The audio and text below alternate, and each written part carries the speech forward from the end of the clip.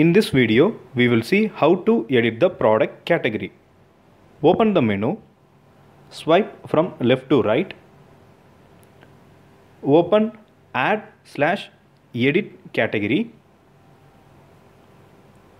type the category name,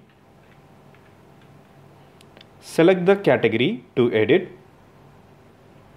Once the category is selected, press F3 from the keyboard or touch edit button available on the screen.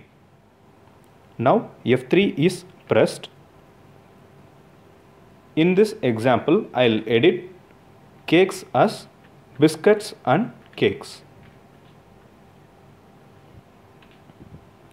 To save the category, press F10 or click save button available at bottom right of the application.